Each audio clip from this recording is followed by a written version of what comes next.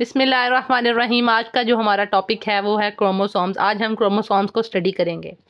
Chromosomes सबसे पहले इसकी डेफिनेशन देख देते हैं। डेफिनेशन क्या है? It is the thread like structure that appear inside the nucleus at the time of cell division ये कब हमें अपीयर होता है? सेल डिवीज़न जब सेल ने डिवाइड होना होता है, तब ये अपीयर होता है। ये सेल के न्यूक्लियस के अंदर प्रेजेंट होता है। जैसे कि ये एक सेल है और इसके अंदर ये न्यूक्लियस है। न्यूक्लियस के अंदर क्रोमोसोम पाया जा रहा है। इसका अगर हम क्रॉस सेक्शन देखें, इसका अगर हम क्रॉस सेक्शन देखें तो हमें ये इस तरह से बड़ा सा करके देखें तो ऐसे नज़र आएगा। ये क्रोमोसोम है और ये इसके आर्म्स हैं। ये जो दरमियान में है, इसको हम सेंट्रोमेयर कह रहे हैं। सेंट्रोमेयर के ऊपर जो है, वो क्रोमोसोम्स हैं। अब क्रोमोसोम्स के अंदर अगर हम स्टडी करें तो फर्दर स्टडी करने के बाद हमें पता चलता है कि इसके अंदर डीएनए है। डीएनए डबल स्टैंडर्ड एक स्ट्रक्चर है हेलिकल स्ट्रक्चर है, यानी इस तरह से कॉयल हुआ हुआ है, ये स्ट्रक्चर ना, इस तरह से कॉयल हुआ हुआ है। इस कॉइलिंग स्ट्रक्चर के अंदर अगर हम देखें तो किसकी अरेंजमेंट है? न्यूक्लियोटाइड्स की अरेंजमेंट है। न्यूक्लियोटाइड्स की अरेंजमेंट है इस DNA double standard helical coiled structure के अंदर न्यूक्लियोटाइड्स की अरेंजमेंट है।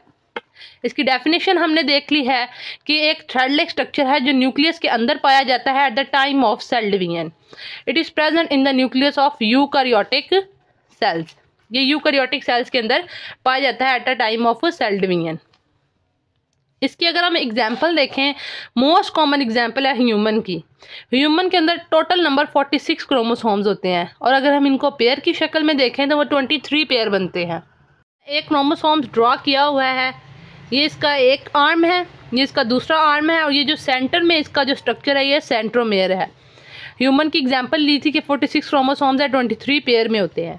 अब हम इसकी टाइप्स देखेंगे कि इसकी कितनी टाइप्स हैं और कितने में ये डिवाइड है। On the basis of centromere हमने इसकी टाइप्स देखनी है। On the basis of centromere on the basis of centromere हमने इसकी टाइप देखनी है। सबसे पहली इसकी टाइप है metacentric second type sub metacentric और थर्ड टाइप एक्ट्रोसेंट्रिक और last one is telocentric last one telocentric अब सबसे पहले हम एक एक करके इनको स्टडी करेंगे। ये बहुत इंपॉर्टेंट क्वेश्चन है। बोर्ड में बहुत ज़्यादा पूछा जाता है। सबसे पहले है मेटासेंट्रिक मेटासेंट्रिक हम सेंट्रोमियर की बेस पे अगर हम इसको स्टडी कर रहे हैं तो हमने देखना है कि सेंट्रोमियर इस मेटासेंट्रिक में सेंट्रोमियर बिल्कुल सेंटर में प्रेजेंट होता है। बिल्कुल सेंटर में एक आर्म इधर, एक आर्म इधर और ये बिल्कुल सेंटर में प्रेजेंट है। अगर हम इसका स्ट्रक्चर देखें तो इसका स्ट्रक्चर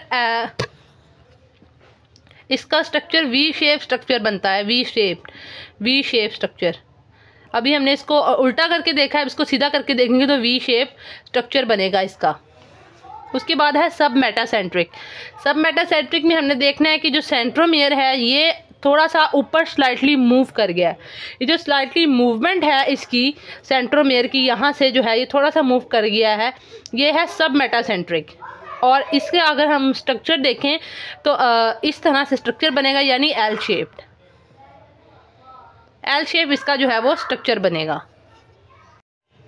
अब हमारी थर्ड टाइप है एक्रोसेंट्रिक एक्रोसेंट्रिक में हमने पहले सब मेटासेंट्रिक में पढ़ा कि जो सेंटर मेरा थोड़ा सा ऊपर मूव किया था, यहाँ थोड़ा सा और ऊपर मूव कर जाएगा. यहाँ बिल्कुल ये जो ऊपर वाला आर्म है, बिल्कुल स्मॉल हो जाएगा और जबकि नीचे वाला बहुत बड़ा हो जाएगा. अगर हम इसको इस तरह स्ट्रक शेप देखें, इसकी तो जे शेप्ड बनेगा, ये जे और ये इसके ऊपर एक वो सेंट्रोमेयर है। अगर हम अब टीलोसेंट्रिक इसकी फोर्थ टाइप है जिसको हम स्टडी करने लगे हैं, ये जो सेंट्रोमियर बिल्कुल इसके पॉइंट पर, इसके एज पर आ जाएगा, बिल्कुल इसके पॉइंट पर। और हम इसको देखें तो ये आई शेप्ड इसका स्ट्रक्चर बनेगा। अब हम आगे एक डेफिनेशन स्टडी करने लगे हैं क्रोमोसोम से रिलेटेड है karyotype karyotype very very important short question है। बहुत दफ़ा पूछा जाता है बोर्ड में। तो इसको जो है वो आपने अच्छे तरीके से कर लेना है। इसका एडवांटेज पूछा जाता है और इसकी डेफिनेशन पूछी जाती है। अब इसकी डेफिनेशन क्या है वो हमने देखनी है। The particular array of chromosomes that and individual poses is called karyotype इसमें उन्होंने बताया कि ऐसी अरेंजमेंट ऐसी पर्टिकुलर अरेंजमेंट क्रोमोसोम्स की जो एक इंडिविजुअल के अंदर पाई जाए, किसी स्पीशी के अंदर पाई जाए, उसको हम कार्योटाइप कहते हैं। जैसे इंसान के अंदर अरेंजमेंट है क्रोमोसोम्स की, वैसे ही दूसरों के अंदर, दूसरी स्पीशीज़ के अंदर एनिमल्स के अंदर फ्रॉक के अंदर, इस तरह से डिफरेंट इनकी जो है, वो प्लांट्स के अंदर डिफरेंट डिफरेंट जो है अरेंजमेंट होती है क्रोमोसोम्स की। इसी बुनियाद पर हम इनको जो है वो डिवाइड कर देते हैं डिफरेंट कैटेगरी में। इसका एडवांटेज देख लेते हैं। We can differentiate the individual of same species और डिफरेंट स्पीशी यानी हम क्रोमोसोम्स uh, की जिस तरह अरेंजमेंट है डिफरेंट स्पीशी में इस तरह हम उनमें डिफ्रेंशिएट कर सकते हैं। अगर किसी प्लांट में है तो हम उसको स्टडी कर सकते हैं। अगर किसी इंसान में है तो उसको स्टडी हो सकती है। और किसी एनिमल में है तो उसको स्टडी किया जा सकता है। लोअर एनिमल है हायर एनिमल है। तो थैंक यू फॉर वॉचिंग अगर आपको कोई भी मसला हो इस लेक्चर में तो आप कमेंट बॉक्स में जाके मुझे बता सकते हैं।